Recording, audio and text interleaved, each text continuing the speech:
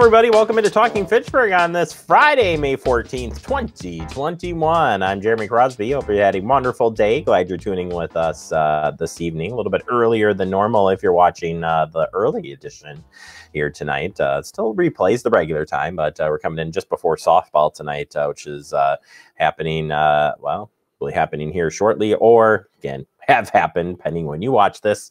But we're glad uh, you're here, and we have a busy show for you. We'll get you the latest headlines as we work into the weekend. Uh, we have special interview with uh, our uh, Chief of Police, Chad Brecklin. He'll be here talking about National Police Week. We'll break that down uh, and talk about the department, uh, where they're at uh, today. Plus, we'll check in with Kimberly over at the Fitchburg Star. She'll break down this past week's council meeting. So, a lot to get to here.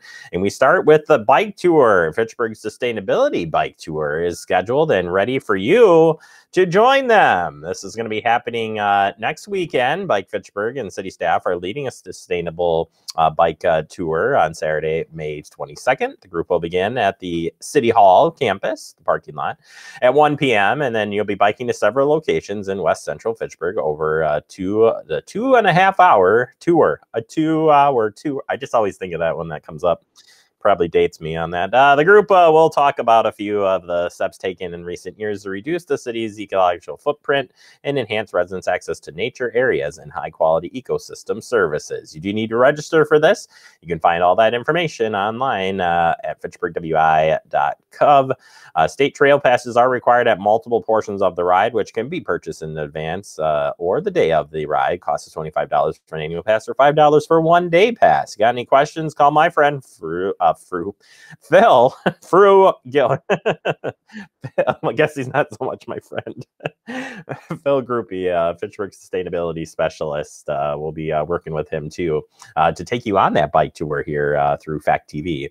Uh, but I don't want to give away too much until we get all of those things worked out. All right, Verona Area School District wants to confirm that you have the right mailing address as they get ready for their back to school registration information during the summer. So, have you moved recently? Don't miss out on the important back to school information this summer.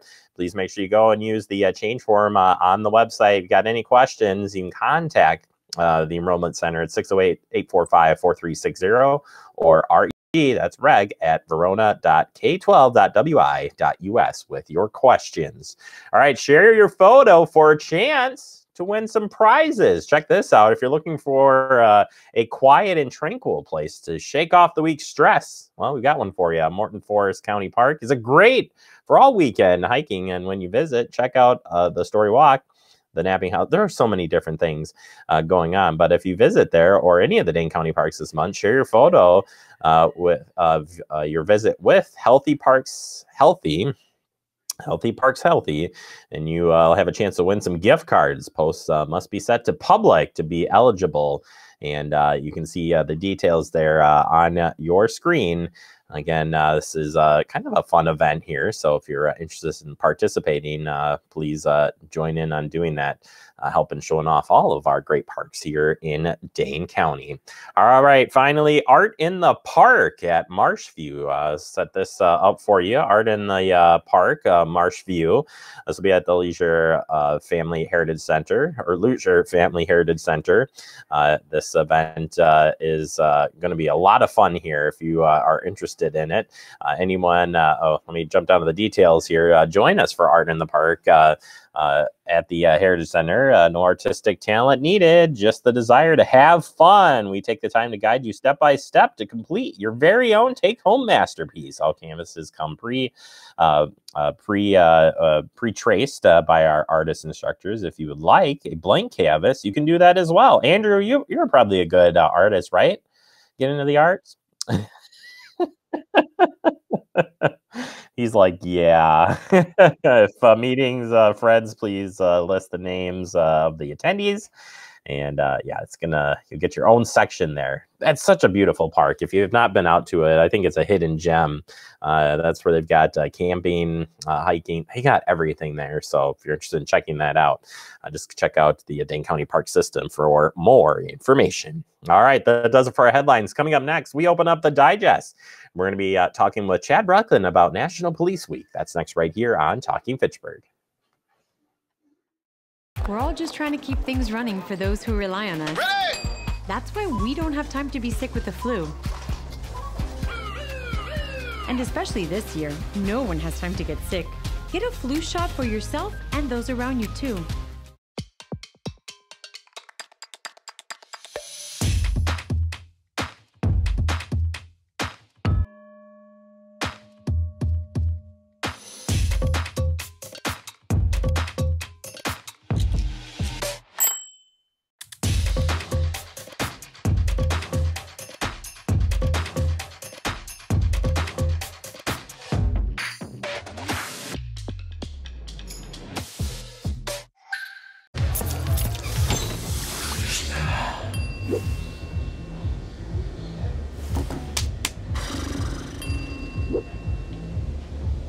You need to do something to feel okay to drive, you're not okay to drive. Don't drive buzzed. Welcome back into Talking Fitchburg. Joining me today from the Fitchburg Police Department on a special interview. We got a two for this month. We got uh, your chief, Chad Brecklin. Chad, welcome back to the show and happy National Police Week. Thank you, Jeremy. It's always a pleasure getting to chat with you. And the bonus appearance of the month is even just like icing on top of the cake. You know it, Chad, uh, and uh, glad you're taking the time out. And in all seriousness, thank you, uh, and to everybody on the, the police department, uh, Fitchburg. We appreciate uh, what you're doing, uh, and we're glad that we're able to talk about this this week. Um, certainly, a lot of buzz in the police world for for many years, and especially in the last couple of years. Um, as you take a look at this year's National Police Week. Um, is there a different vibe in the police department? What what is everybody uh, what's everybody doing as you reflect uh, on uh, all the good work uh, and and happenings uh, around the world? Yeah, so clearly there's been uh, it's been a challenging year, year plus to be in the policing profession. First starting with pandemic conditions um, last March, and then leading into ongoing civil unrest in our country as a result of uh, largely police uh, related uh, incidents in our communities. So without a doubt, it's been, it's been challenging. there's certainly a level of scrutiny on police uh, that I don't think we've ever seen uh, to this extent and for this duration uh, in the in my time in the profession, which is over 25 years. Um, and you know what? That is the scrutiny in some regards is appropriate. clearly, police need to be held accountable for their actions. And that is is definitely an important component. But i do think it's important as we you know look at police week in particular as an opportunity to recognize the sacrifice and commitment and dedication that the vast majority of police officers serving their communities uh, do day in and day out. And that's the important thing in, in the appearance today and the message that we should take away from here in the police department is we know that uh, there are so many uh, people who are making sacrifices day in and day out. They're working long hours, they're working, working weekends, they're working holidays, they're working the third shift, so that allows them to spend time with their families in the evenings, uh, if they have young kids or a significant other or whatever the case may be. And they're willing to answer that call regardless of who calls the police in, needing of, uh, in need of assistance they're willing to go into uh, school or business settings when there's a report of an active uh, threat in those buildings. And uh, it's just a testament to the type of people that we have in our department specifically and in our profession more generally who are willing to answer those calls and uh, you know really take take on a leadership role in their community and uh, help people. Chad, there's been um, uh, you guys have had some recruitments going on and stuff, and that then what's the next generation police officer look like? Uh, someone who's coming into the field now uh, for the first time uh, compared to what it was when you got in the field. What is what does that look like uh, for for somebody? Because there is a need for for still law enforcement, and I think that's a positive thing to look at this week. Is um, the impacts that you folks make uh, day in and day out. Nobody will ever know um, unless you're uh, right there with uh, with the folks uh, that are on the job. But uh, what what's that uh, officer look like today? Yeah, I think I think that that's important to point out is what does our next generation of police officers look like? It looks it looks like a, a few different things. One, I think it's important to know is that you know it's okay to support police uh, without a doubt. And it's also okay at the same time to expect police accountability. Uh, it doesn't have to be an either or proposition. And I think that that's important for our community to recognize that and, uh, and support their local police department. Because as you indicated in the question, uh, there is clearly a need for policing in our society and in our communities. But the important component of that is that the policing is done in a fair, respectful, and an equitable uh, manner and those are the challenges that our, our, our new police officers and anyone in the profession obviously faces. And the things that the new police officers and really all police officers, again, our, our current ones as well, we want them to have sound communication skills. We want them to have sound problem solving and deductive reasoning skills. And we want them to take a look at situations with a critical eye to recognize whether or not law enforcement action is appropriate, police action is even appropriate in a particular case, or perhaps there are other resources that are better suited and or available to help resolve this situation either on a, te- on a short term, i.e. that evening basis, or a more long term uh, basis, taking that, that longer pro- uh, problem solving uh, approach. And um, the fact of the matter is, is, is, it's a challenging profession, and there's no doubt that those that are coming into the profession, we are often hearing now that they're coming into the profession to be part of change and to bring, you know, that next generation of, of police officers um, here to our departments, and and that's a good thing. You know, as you mentioned, uh, things are different when I started 25 years ago. Um, you know, it doesn't mean my approach has necessarily changed uh, because I feel like I've always taken the approach, and, and as have our police officers, to strive to communicate, to be fair, to be professional, be respectful, uh, seek a problem-solving approach, and, and utilizing the community as our as a resource. So, yeah, no doubt, challenging to say the least not uh, I, am glad you went through all that chad and uh, explaining that out. Uh, i think that's good to know um, uh, uh, of that transition. And as we look at police week another component of this week and this is a sharp change here, and uh, apologize for that, but do want to comment on it. Uh, it's also a week to honor the fallen, and um, there's no doubt that there are more. Um, there's been more deaths uh, of of officers uh, in the line of duty, um, or on the other side of things with mental health. Uh, as you look at those things and reflect um, from your perspective, how do you how do you take all that in? And and for somebody who's on my, who's uh, on this side of things that doesn't know the the strain and um, stress uh, that that that carries with you.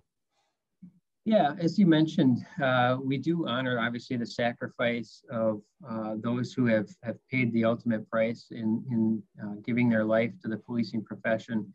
Uh, that specifically is national peace officer memorial day which is may 15th every year and then, of course, the week in which May 15th falls is National Police Week, where we do want to recognize the overall service of our of our uh, people serving in the policing profession. But employee uh, wellness is is becoming such an important component of, our our job now as police leaders is to seek ways to help ensure the wellness of our police officers because as you've mentioned not only do we face potential uh, injury and or death from circumstances uh, in which our job puts us in, but the cumulative effects of the stress and the PTSD and those sorts of things that come into play uh, have now brought uh, additional light and awareness to the um, impact of suicide in the policing profession. And all departments, uh, you know, I shouldn't say all, but you know, many departments are looking for ways to help improve employee wellness uh, in an effort to put more resources uh, being available to them to hopefully provide them with the tools and the resources that they have uh, at their disposal to help manage the stress that we see, um, improve their physical, mental, financial, and emotional well-being, and you know really, really be more open and, and direct in our conversations and recognize that it's okay to ask for help. It's okay to be in need of help. There's nothing wrong with that at all. Uh, that's merely a human reaction to stress and, and very difficult situations and incidents that we respond to.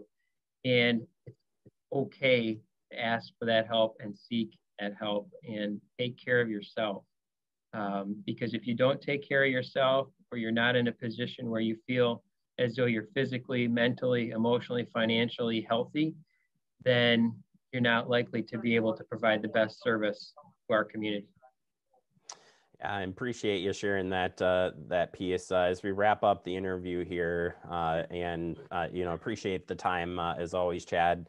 Um, uh, just we've talked about it many times on our regular interviews, but looking ahead in policing in the police world, you've you've touched on it on various points today, and I appreciate that. Um, but I think something to tie into this is the department is always continuing to train. You're always continuing to um, learn new things, bring new things into the program. Uh, you're working on your uh, your protocols, and um, and I can't remember the other name of the the other one you're working on, but um, you know uh, the input from the community and stuff. Uh, uh, so in any public safety world piece, uh, you're always looking at and trying to improve um, as a department. You know, not just a person, but as a department. and what does that look like for the Fitchburg Police Department? I mean, the, the, one of the things that I talk about uh, regularly is constant improvement. And, you know, any organization, whether it's a police organization or city government or a private business, I think in order to be uh, in a position to be successful, to be responsive, carry out your duties, responsibilities, goals, and objectives in an appropriate way, you have to be looking at things from the mindset of seeking constant improvement the time in which we feel like we've solved the problems that we need to solve, so to speak, or our organization is, you know, where it needs to be, is when we then become caught off guard by something, and or we don't adapt to changes in in uh, situations or issues uh, as quickly as we should. So there's always a need for us in the in the Fitchburg Police Department to be conducting regular assessment of uh, how we do business, regular self-assessment of how we individually carry out our duties and responsibilities, and always seeking constant improvement through training, education, uh, and communication with others. All right, Chad, anything else that you want to comment uh, on this uh, National Police Week? I do. Um, I just want to. I just want to thank one uh, the Fitchburg community who has always supported its local police department. We have enjoyed a great deal of support over the years, and, and for that, I'm grateful for. And I also want to express appreciation for all of the members of the Fitchburg Police Department, both sworn and non sworn, who serve every day uh, with sacrifice, commitment, and dedication. They are here 24 hours a day, seven days a week uh, to provide police service to our community. And without them, uh, our community would not be uh, as vibrant as it is. And, uh, you know, I really appreciate their service and uh, I hope that our community does as well. Chad, uh, well said, and uh, thank you again, and every to every uh, law enforcement uh, person out there for for everything you've done, even if you're retired, whatever the case may be. We appreciate it, and uh, Chad, we appreciate your time as well. Uh, thank you for sharing, and we'll look forward to talking to you a little bit later in this month. You bet. Thank you, Jeremy. You bet. Chad Brecklin, uh, Chief of Police here at the Fitchburg Police Department, doing a wonderful job. We'll take a quick break. More to come. You're watching Talking Fitchburg.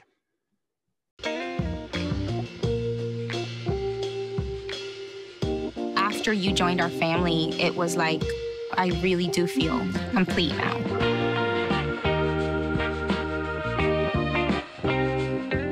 Our hearts are made stronger by how we treat others. Put her there. The light you share can impact those around you, but so can the darkness. Later, twerps! Did Pete saying mean things bother you? So when you reach out to another person, take a moment to consider how they will feel and let your heart be the key to making a difference. Because of you, someone's entire day, year, or even life can change. In every heart, there's hope. We're all just trying to keep things running for those who rely on us. Ready! That's why we don't have time to be sick with the flu. And especially this year, no one has time to get sick. Get a flu shot for yourself and those around you too. Well, welcome back into Talking Fitchburg. Join you today from the Fitchburg Star, our star, Kimberly. I don't know how many times I'm going to get to say that, but I'm totally going for it every single time. Kimberly, welcome back to the show. How are you doing today? I am good. Although at some point, I'm going to need you to pay my medical bills from the eye strain of me consistently rolling my eyes every time you call me the star reporter. So, uh, just so you know. the star. You didn't get it right. If you're going to get it right, the star. Thank you very much. Um, uh, let's uh, get started here. Uh, we'll be uh, recapping uh, the recent council meeting, and uh, you you have picked out a couple of stories here to talk about. We'll start with the teen center. we got an update on that on Tuesday night. Absolutely. So I'll start by saying um, the Teen Center is still very much in planning stages. Um, it was brought up back in the budget process that they would buy a building. That is not happening. Um, that was not in the budget. So really what's happening now is they are doing a study. Um, so what went down at Tuesday night's meeting is so they were hoping to use the Fitchburg funds, which is around $11,003. They're just hoping to transfer that money, which is already collected by the city, was in the 2020 operating budget, was moved over. They were just hoping to put that in um, in the bucket of money that would go towards the the study for the teen center. Uh, the council said no to that. Um, they they said no to it back in April. Uh, they said no again to it uh, technically. Um, they didn't actually say no on Tuesday, but we had a we had an amendment to the resolution, if you follow me, um, that would basically take moving the Fitchburg funds off of the table. Um, so the Fitchburg Fund uh, money, that like $11,000 is not going to go towards the study. Instead, what they are going to do is they're going to take the money that's already collected for the Fitchburg uh, Teen Center study, which is just shy of about $30,000. Um, and they're going to put a bid out for that. So what they're really looking to do is they're looking to talk to people in the neighborhood, see what people in the neighborhood need, what they would like, you know, what, what amenities would they like in a teen center, what resources do they need, all that kind of stuff. So um, for a while, the teen center has kind of stalled in that sense, but this really is one of the first steps forward with the teen center. So um, they they have to put the bid out for uh, whatever amount of money they've collected um, but they are still collecting donations for the teen center. So if that's a if that's a cause someone is interested in, they can certainly still donate towards it. Um, but so that might get reflected in whatever final bid they have. So um, so yeah, the teen center, well, it will not happen for probably years, uh, just because we're gonna have some tight city budgets. Um, that it took its technical technical first step forward uh, with this with the study on Tuesday night. So yeah, yeah, more to come on that one uh, as it moves forward, uh, but uh, seeing some staff roll here uh, on that one, and uh, we'll keep you updated here uh, as information comes out on that. Both you and I, we've got this. We'll we'll keep updating everybody. police chief update. we have now kind of what that process is going to look like. what did they tell you? So it's going to actually work very similar to how uh, they did the recruitment process for the city administrator. So um, at some point, they're looking at doing a community and staff survey um, to, to gauge how people feel, what kind of um, what, what kind of you know qualities they want in the next police chief they'll send that to staff and community members um, and then they're hoping to go through the job description again with what is called an equitable hiring tool. They did it with the city administrator job position where they basically just look at it and they're like okay is is is this requirement too out of reach? Does this limit the number of people? Is this a fair requirement to have? Um, so they'll review the job description using that. Um, and so then they're planning on opening the position within um, within the month here, and hopefully we'll have it open for a month. And then hopefully uh, by mid-August, uh, the Police and Fire Commission will make a recommendation and hire someone. Um, just because police chief is a little bit different than a lot of other city um, city roles, the city council really doesn't play a role in hiring the police chief. That's mainly all through the Police and Fire Commission. So if you're looking to follow the process, um, you're not going to find it at the Common Council. You might hear some updates here and there. But if this is something you're interested in uh, following, you're definitely going to want to look uh, towards the Police and Fire Commission because they'll be the ones who are leading um, leading the, the succession process. So Yeah, and as you know, um, we broadcast all the meetings, so certainly you'll be able to catch those on FACTv. And if you miss one, certainly you can go back and uh, catch that as well. And uh, we'll uh, we'll be broadcasting and uh, those and uh, any other uh, meetings. And certainly when the survey comes out, we'll make sure residents get full access to to doing that, which I think led to great candidates for the city administrator position too. So excited for this process to play out as well. All right, and finally, what what else do you have for us here as we close out another great interview? Yeah. So, as if people do not have enough uh, construction on Fish Hatchery Road, um, have not had enough construction on Fish Hatchery Road, they will uh, be redoing a small portion of the left turn lane as you get towards uh, East Cheryl Drive and then Cheryl Parkway. Um, so they're going to extend the length of the left turn lane um, and it will just impact how some people can get to City Hall. Obviously, there's multiple ways to get to City Hall, um, so it shouldn't be too too much of a burden. Uh, but just so people know, because that is a main thoroughfare where people go and they access City Hall, the library, uh, senior center services. Um, it's important to know that there will be construction that far down on Fish Hatchery Road too. So it's be, only this bugs you because it's just it's your way. I know it's your way of coming to City Hall. So now it you got to go. You just got to go down a little bit further, to, uh, further to Lacy, and it'll be okay. We I don't know how I'm going to stomach that extra tenth of a mile, but I will do it. I, I can tell you eh, whether I'm running, whether I'm coming into work, or if I go and get lunch and come back. I'm always like, all right, Cheryl or Cheryl Lacy, Cheryl Lacy, Cheryl, you know. So it's all right. just another great decisions, interview. Decisions. I told you we were at the top of your game here uh, for uh, this show. Uh, Kimberly, if people do want to find uh, more out uh, about uh, what you folks are working on, you got a couple of ways of doing that. Yeah, absolutely. So if you want to get the most up to date news, um, the Fitchburg Star comes out monthly. Uh, but we do update it weekly, sometimes daily. So people can go to our website, connectfitchburg.com, uh, in order to get those get that news. We also have been increasing our social media posting. So if you follow the Fitchburg Star on Facebook or you follow um, the Fitchburg Star on Twitter, uh, that's the easiest way to get news delivered right to your news feed. Um, we also have an email newsletter, um, and you can go right to our main page at connectfitchburg.com and sign up for that there. So there are plenty of ways to get the news. Um, so you have no excuse. Exactly. There is plenty of uh, news out there to be had, and we uh, love uh, providing that here uh, on Talking Fitchburg and, of course, through the Fitchburg Star. Kimberly, thank you so much as always. Always fun to catch up with you, and we'll check back in in a couple of weeks. Looking forward to it. All right, uh, Kimberly from Fitchburg Star. Check out the website, check out the social media to stay up on the latest on what's happening here in the city of Fitchburg. Take a quick break, more to come. You're watching Talking Fitchburg. See on page four that the projections need to be blood. Next Thursday? Seriously? Thursday? Can't do that. Uh-uh. This is really inconvenient. I have yoga that day. I have no time for this. So. I can't do Thursday, but I can do Friday. Disasters don't plan ahead. You can. Talk to your loved ones about how you're going to be ready in an emergency. Don't wait. Communicate.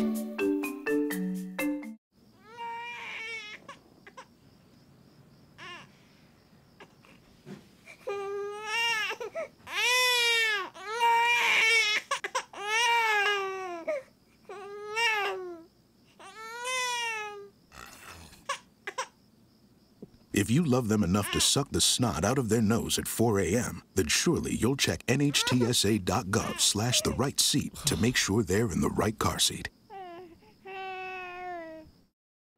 Welcome back into Talking Fitchburg. Wrapping up the show for today, I want to thank our guests, uh, including Kimberly from the Fitchburg Star and Chad uh, Brecklin from the Fitchburg Police Department, helping us out today. We'll get those interviews and all this past week's interviews up online. Check it out at Facebook, YouTube, and of course at fitchburgwi.gov, where you can watch the full show. All right, as we wrap up, uh, those places you can go watch, well, Andrew's got them set up right here Facebook, YouTube. If you haven't checked us out on Apple TV and Roku, you should download that the app. It's pretty sweet. Just saying. That's how I watch at home. Same with Andrew. We both love watching it in HD.